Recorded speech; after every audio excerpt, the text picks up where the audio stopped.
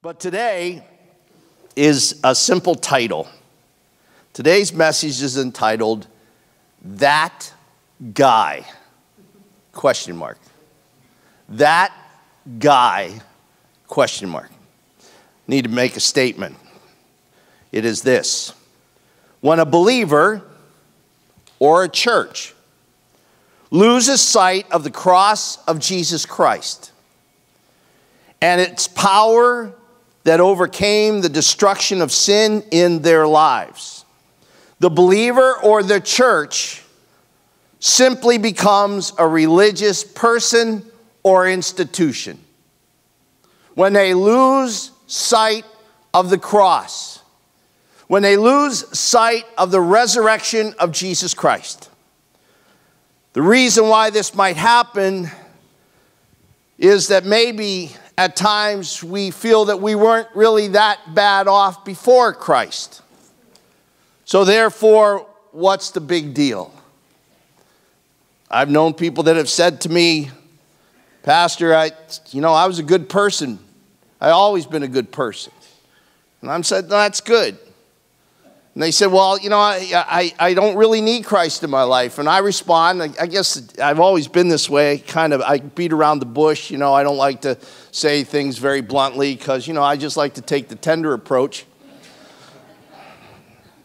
I said, You know, there's a lot of good people burning in hell today because it's not about our good works.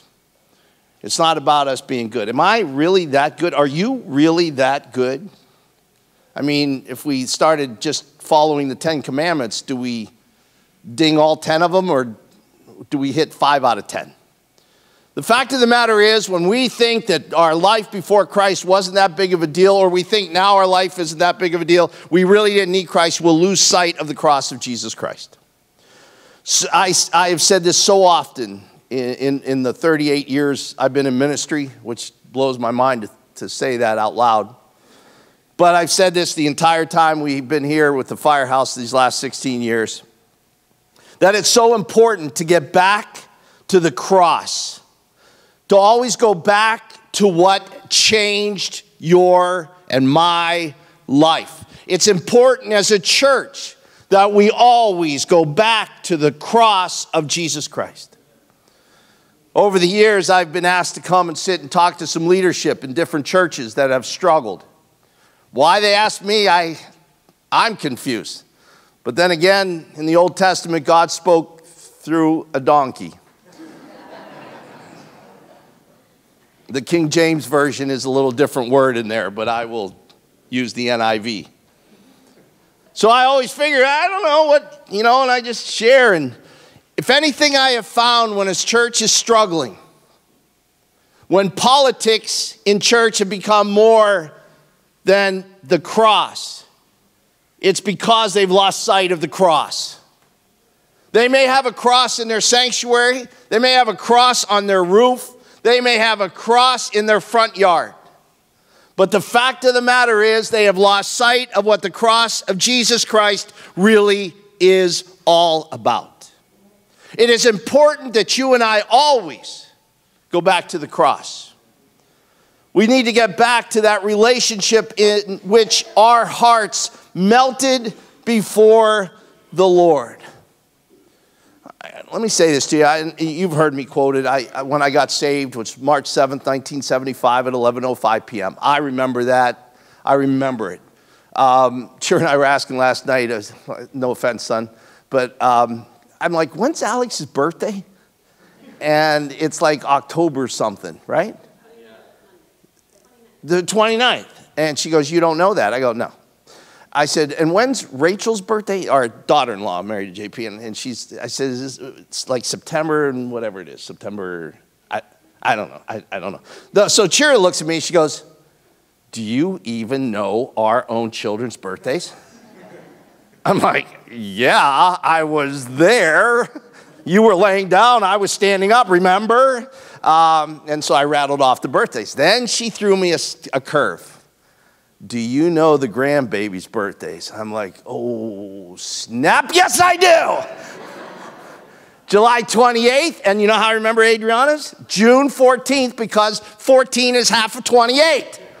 Good thing you didn't blow it and pick an odd number. I would have been shot.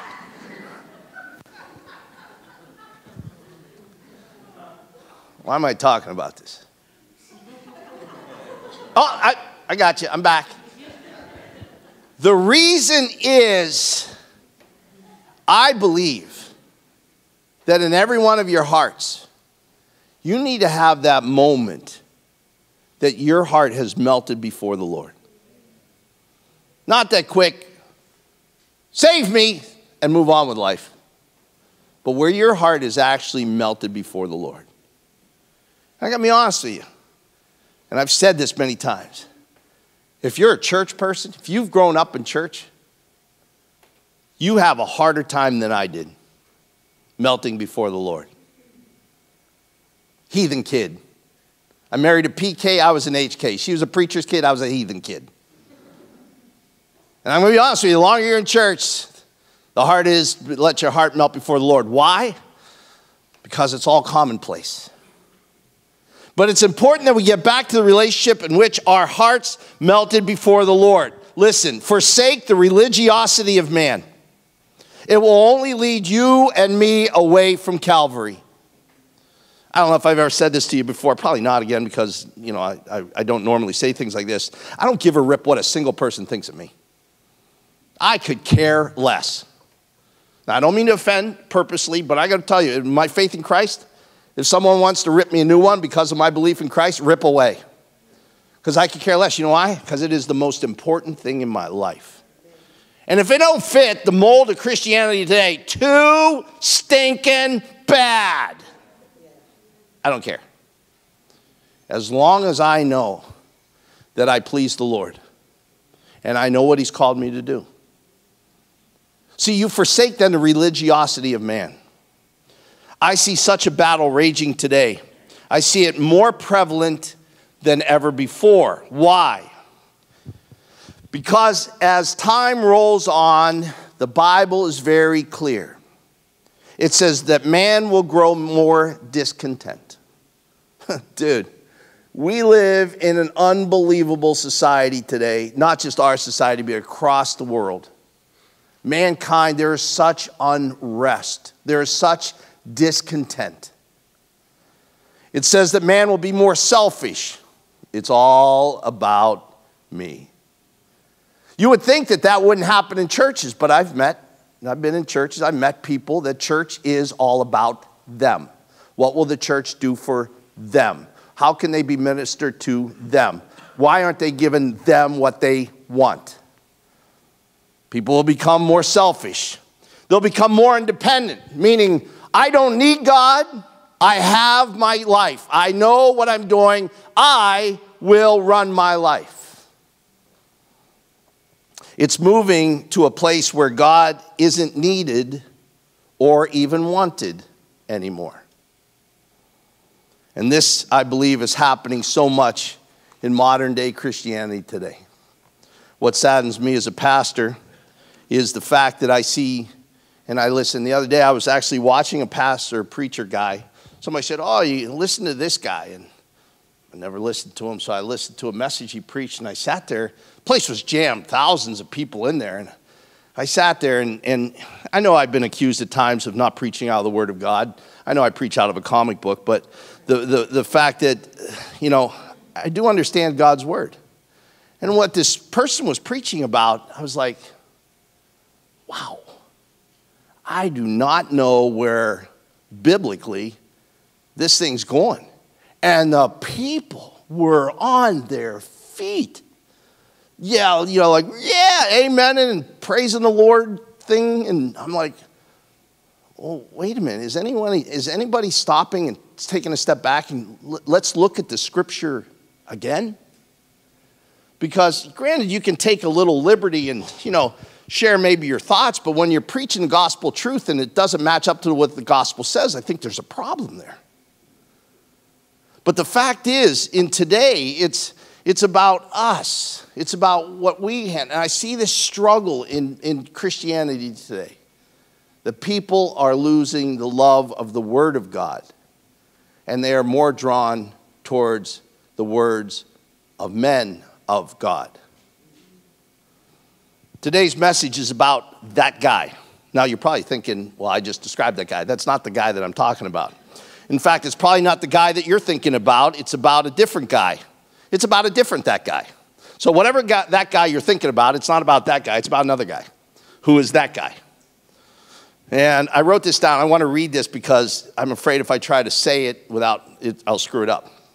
So, here, you know the guy, that guy, who no one would ever believe or even consider that he or she, so when I say guy, it is, I don't know what it's called. It means both male and female. I don't know if there's, if that's possible, but it didn't sound right going that guy and that girl. It just lost something. okay, so work with me. So when I say that guy, it could be male or female. All right, so let me go back. So that guy, the one who you, no one would ever believe or even consider that he or she might a- actually come to know Christ. Any of you in here like that? That you are that guy that people look at and go, not you. No way, not you. And you're sitting there going, yeah, I don't even know how I got here. But the fact of the matter is, you might be that guy. But let me, let me go on. But yet, then there's that other that guy who everyone thought that because of their religious pedigree, there's no way that that guy would ever fall away. So there's a couple different that guys. There's that guy that no one would ever believe would come to know Christ. Then there's that guy that, boy, he had everything, but yet he fell away from Christ. So as I present this message to you today, I want you to take a hard look at yourself and ask yourself this question Am I that guy? Which guy? That guy. Turn your Bibles because some of you are sitting there going, well, okay, it's 1013. You haven't even shared scripture yet. I'm going to be looking in the book of Luke, chapter 17. And I'm going to be looking at verses 11 through 19. I'll break them down as we go, but let me just give you this brief little thing right here as you turn to Luke 17. This is an account about that guy. In fact, how I see it, it's an account which is so important that God chose to put it into His Word for all mankind to read about that guy. Luke 17, verse 11 says this Jesus was traveling to a city and was on the border of Samaria and Galilee. Now, if you just read over that, that's like no big deal. Okay, so he's traveling to a city and he was on a border between Galilee and Samaria. Who cares? The fact is that there is something to care about because it explains the rest of the story. Here at this time, so you understand, Samaria and Galilee were, Galilee was, of course, the Jewish nation. Samaria were half breeds back before time of Christ, there was a blending of, uh, uh, of the Jews with a foreign nation, and the Samaritans were the product of this half breed type thing. They were shunned, not, I shouldn't even say shunned, they were hated by the Jewish nation because of the fact the Samaritans were a black eye to them. They were like, you know, we want nothing to do with them. And on the other hand, the Samaritans, they weren't real big fan of the Israelis either because of all the accusation and the hatred that was shown to them. And you have to understand this so clearly. As Christ is traveling to another city, he is on the border of Galilee and Samaria. He's walking straight between both countries or tribes of people. The thing is that they didn't ever want to mix together. The Samaritans knew their place, the Israelis knew their place. They wanted nothing to do with each other except right here. As he was traveling along the border, there is a place where both Jews and Samaritans came together. And it was this place where there was a label above them all, and it said unclean. And it was written in bold letters so that for all to see, unclean. And the reason why they were unclean, they suffered from the disease of leprosy. And it is leprosy is a highly contagious disease where it causes nerve endings to die off, which causes the blood flow to quit going to your limbs. And without you really knowing it, you begin to drop off appendages of your body. It eventually kills you. There is no cure back then for, uh, for leprosy. If you got it, whether you were from Galilee or Samaria, you were cast away because it was so highly contagious. And here they were in this camp for lepers. And the sign didn't say Galileans and Samaritans, it simply said unclean. They both had to be separated from everybody else that they knew because they were unclean. They knew that they were unclean. There was no denying it. It's, they could see what would happen eventually. In the beginning, there might be a small bump that would appear on one of their hands or on their foot or on their face. And right away, because they've seen it, they would probably try to hide it, cover it up until more started showing up. And then once more showed up, people saw that. And when people saw it, they reported it. And then the priest came and would look at the person and say, You are covered with leprosy. Go, depart from us, get away. You must leave now. They weren't allowed to go back and get their belongings. They weren't allowed to do anything. They had to go because they were unclean. They knew they were unclean. And let me say this the leprosy represents sin. I'll get to that in a moment. The difference between leprosy and sin is if you got leprosy, you see it and you admit it. But what we do is we have sin in our life and we hide it. I'm going to tell you what whether you hide your leprosy or you hide your sin, either way, it's going to eat your life completely up. Now, the Bible says, for example, the leprosy knows no boundaries, neither does sin. In Romans chapter 3, verse number 23, one of the most powerful, life changing scriptures that ever hit my heart. And at a very young age of coming to know Christ, this was one of those that just slammed me. And it said this All men have sinned and fallen short of the glory of God. All men. My uncle, and again, not growing up in a Christian home, my uncle, the one, you know that uncle. I've talked about Uncle John before. He was my mom's brother, uh, graduated the eighth grade, uh, which means not like you all graduate the eighth grade, which is just insane. Uh, he actually, the eighth grade was as far as his education went. He went and worked in the coal mines of Pennsylvania and then worked for a machine shop, had a mechanical mind, became a multimillionaire because he designed products and stuff, but he was still Uncle John. He was the guy you walk in, he'd say, Pull my finger. Okay, and if you've never had an uncle like that, you need one. It's kind of like just, you know, you, you bring your friend up, hey, Uncle John, ask him, hey, come over here and pull my finger, and pull her finger, right? Okay, so, you know, it's just, I, I know it's not probably proper to talk about in church, but oh well. Uh, it, but, you know, he used, he used to make a statement way back when, I'll try to clean it up as much as possible, and they, they would say something about when someone goes to the bathroom, number two, okay, that it's, they, they think it doesn't stink.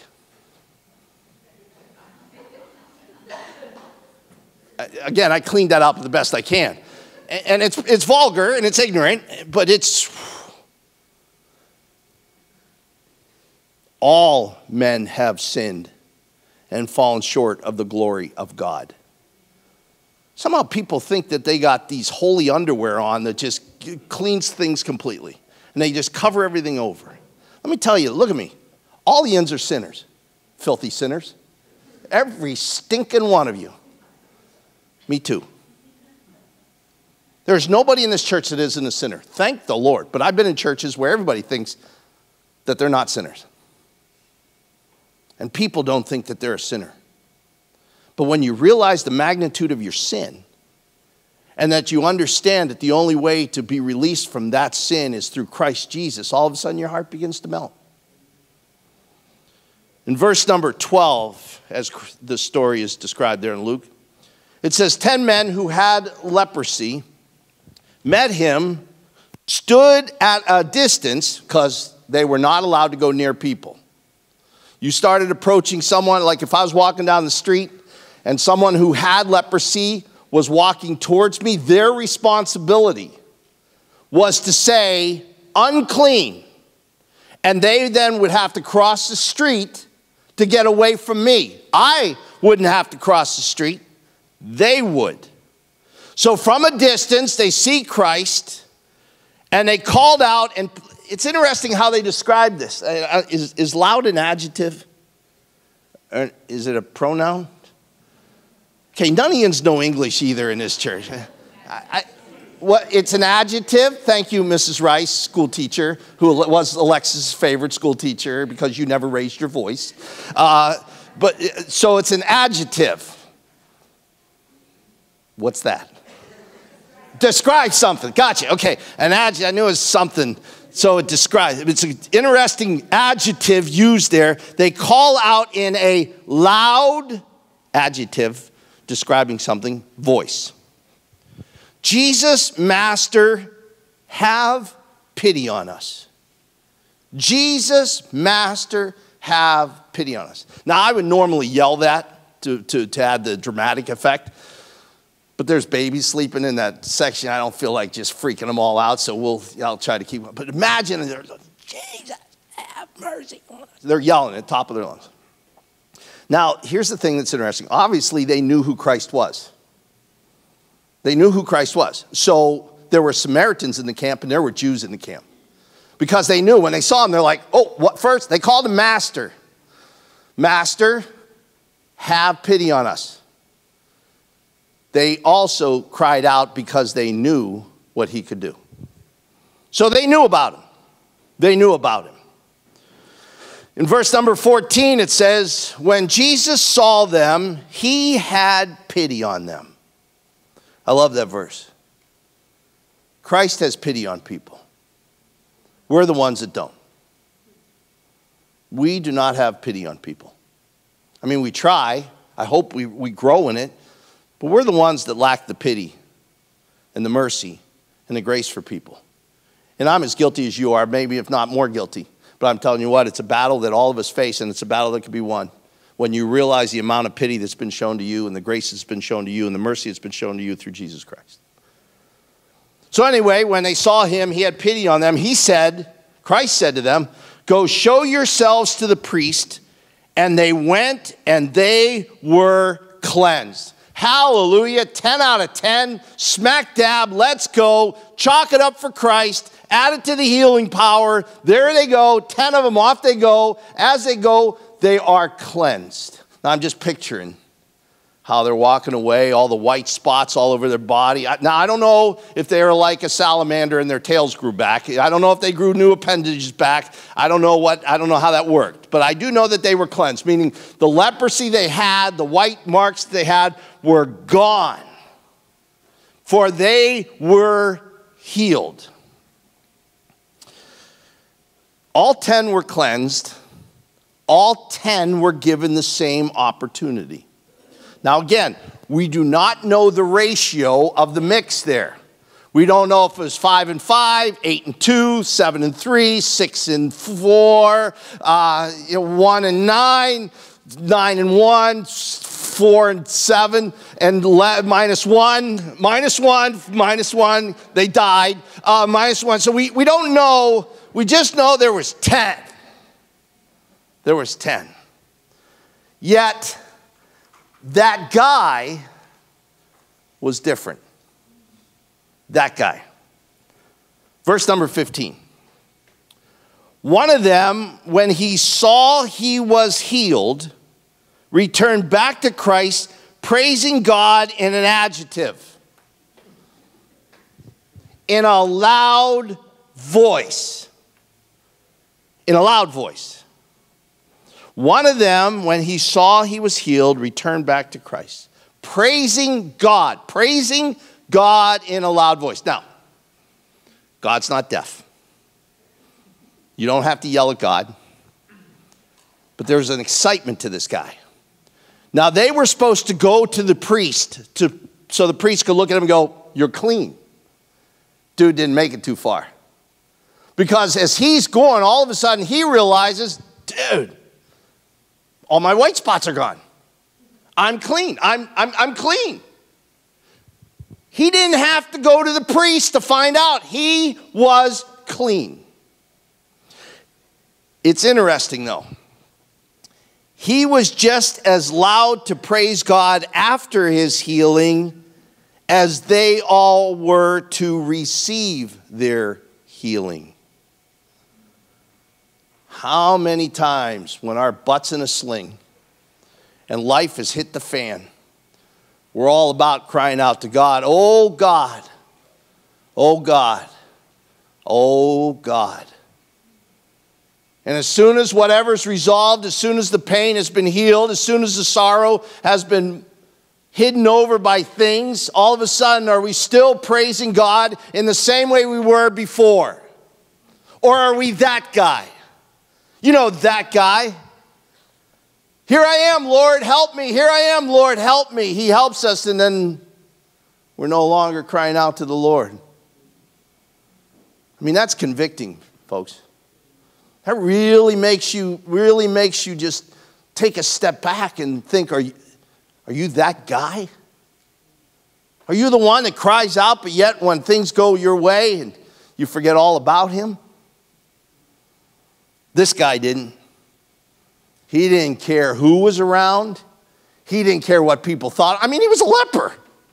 He was already at the bottom of the food chain. Now he's coming back praising God.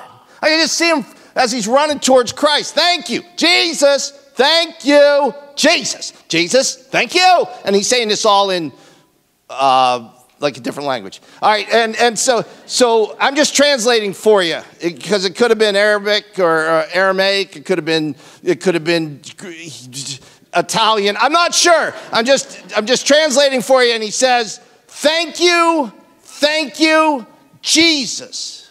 There's something about praising the Lord. There really is. There's something about it. Not showtime, not let's bring out the dancers and the, all the other nonsense. It's just about praising the Lord and thanking Him. Verse number 16. He then threw himself at the feet of Christ and thanked him. Now, my age, I could not throw myself at anybody. I would slowly get to my knees and then lay very slowly in front of him. That whole throwing thing left a long time ago. But in my heart, I'd be like, sometimes I, you know, like my grandson says, Papa, jump with me. I am. He goes, No, Papa, jump with me. I am. He goes, No, Papa, jump with me. I said, Xander, inside of here, I am. But you see the x rays of my knees, I'm not. You know what he told me during prayer? Can I share this? We're walking, Xander's walking with me during 9 o'clock prayer, and I'm just praying out loud. He goes, Papa, Papa. I'm like, what, Xander? Too loud.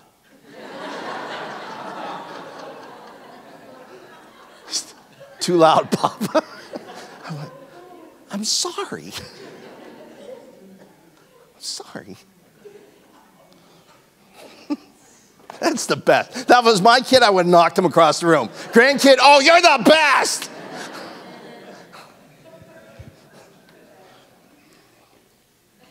He threw himself at the feet of Christ and he thanked him. And he was a Samaritan.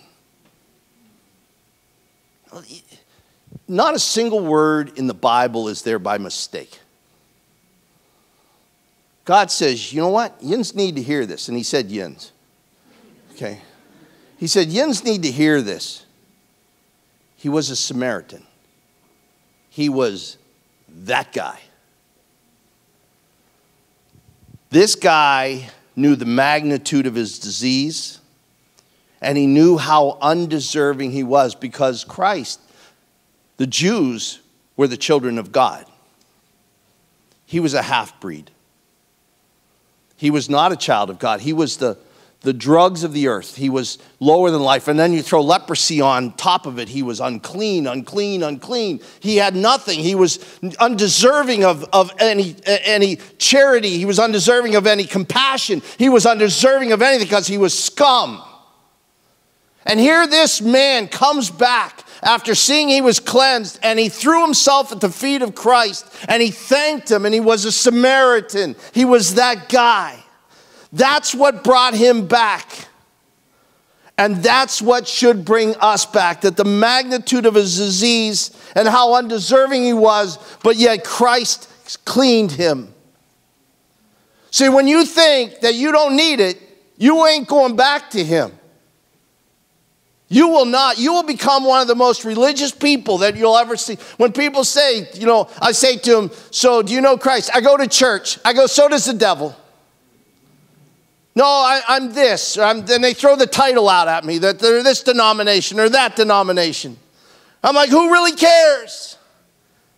You know, I've said this before. People think that there's going to be all these divisions in heaven. There's going to be all these different denominational places. You know, the Catholics will be over there. They'll be more quiet. The Methodists, the Lutherans, the Pentecostals, they'll be way over there. They're too loud. and then Jesus asked, I got to hurry. Jesus asked this hey. Well, I don't know if he said hey, but he probably did. They just don't, it probably just didn't translate properly. Could have said yo, but let's go with hey. Hey, weren't there 10 of yins? Again, yins. Weren't, weren't there 10? Question mark. Now, is Jesus having a senior moment? He was only 30 some years old. Like, like he was like, wait a minute, uh, just like 10 minutes ago, I, I thought there was 10. Wasn't there 10? Can you imagine somebody looking around like, dude slipping a gear already? What, yeah.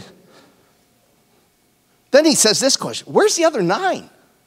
Again, is he slipping? Now, here's the fact Jesus knew there were 10, and he knew where the other nine were. He knew. He just threw that out there like, wait. He threw that out there so all of us would see wait, weren't there 10? Where's the other nine? Now, the question is did those other nine really obey what Christ told them to do? Go to the priest so that they could be cleansed? Or did they simply go back to their old lives before leprosy? Why do I have to go do what he said? I'm already healed. Aren't we that way?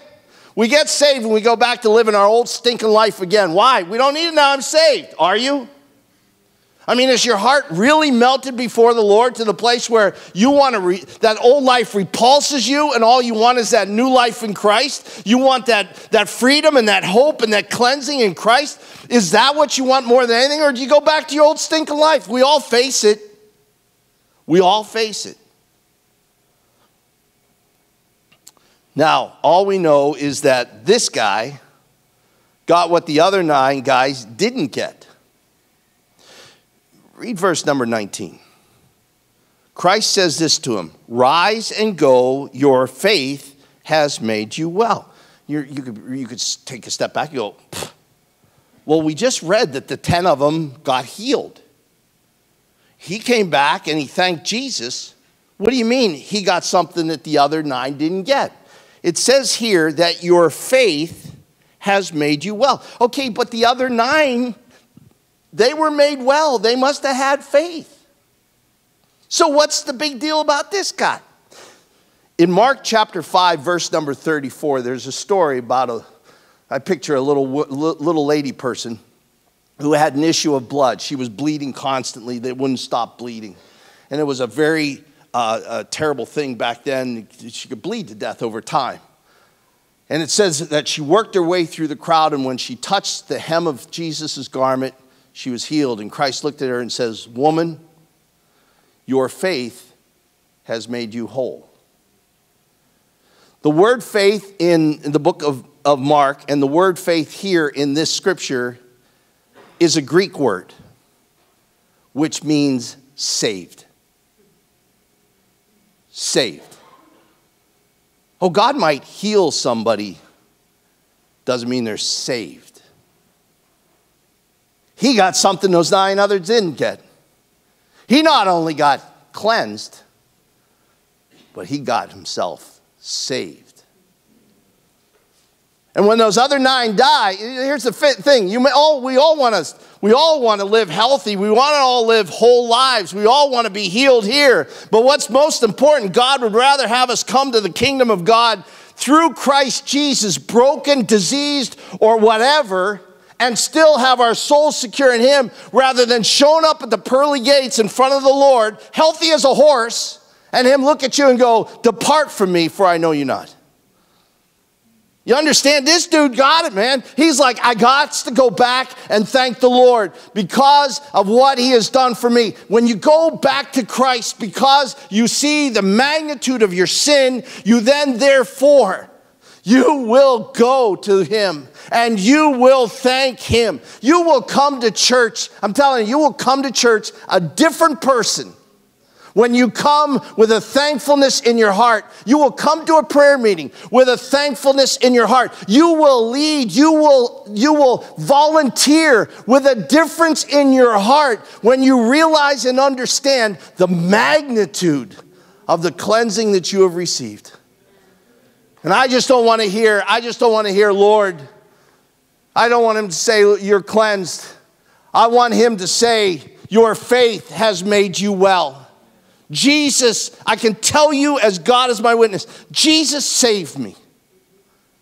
And if I say that every Sunday for the rest of my life, and that's the entire message, some people would grow weary that I'm not going back to that church. He says it the same thing every week. Tell a story that means nothing about the scripture, and everybody will go, Hallelujah. You're, you're, you're, you're, you're, you're causing a disruption in the atmosphere with your faith. What? I'd rather hear a loud voice, Thank you, Jesus. Thank you, Jesus. Capiche? Let's pray. Heavenly Father, I thank you, Lord, for your word that is so powerful and effective. And I thank you, God, that it's an encouragement to all our souls.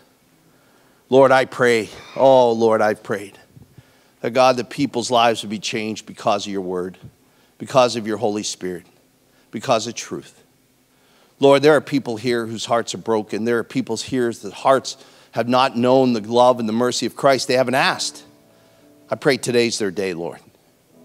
With your head bowed for just a moment, we do this every week. We give people the opportunity to pray and ask Christ to come into their life, to make him Lord or your Savior, to be that, be like that leper who came back and said, Thank you. But you got to start by asking Him to come into your life. If you want that, how we do it here is I'm going to pray for you in just a moment, but I'm going to ask you to look at me. And if you want prayer, I want to get eye contact with you. Then I will lead you in prayer. And then you're going to ask Christ to come into your life. And it's going to be life changing for you. Doesn't mean you're not going to have struggles, you will. Doesn't mean you're going to do it perfect, you'll fail. But the fact of the matter is, you'll keep going back to the cross, back to the cross, back to the cross, because that's where we find our life. If you want that hope today, if you want that prayer, to pray that with me today, starting on my left, look at me right now. All I got to see is your eyes. Sure. Any others? Got them. My right. All I got to see is your eyes. Sure. Cool. Got them. Any others? All right, pray this from your heart. Lord Jesus, I surrender all of who I am. I give up. No longer me, but Lord Jesus, I want it to be you in me. So, Jesus, come into my heart today. Forgive me my sin. I'm new. I'm cleansed. I receive it in Jesus' name. We're going to take communion.